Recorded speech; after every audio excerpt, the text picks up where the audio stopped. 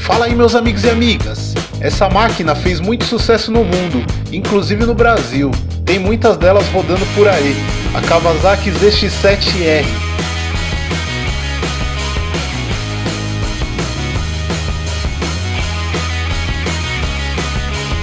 O detalhe é que ela foi esgotada em poucas horas no seu lançamento.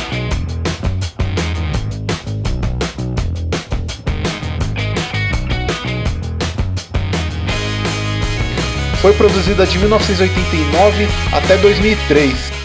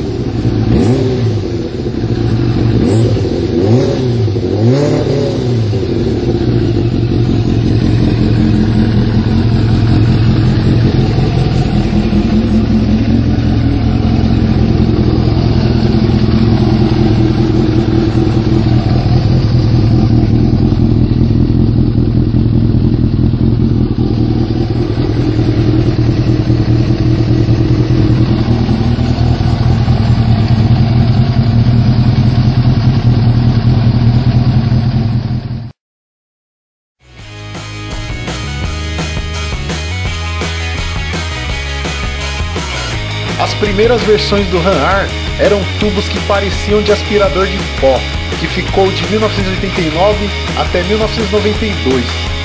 Em 1993 foi adicionada uma entrada de ar do lado do farol.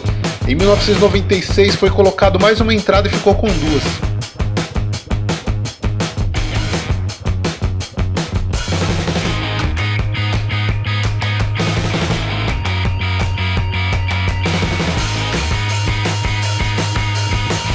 Possui um motor de 4 cilindros em linha, de 749 cilindradas, com cavalaria entre 104 a 113 cavalos, dependendo do ano. Sua velocidade máxima chega a 270 km por hora.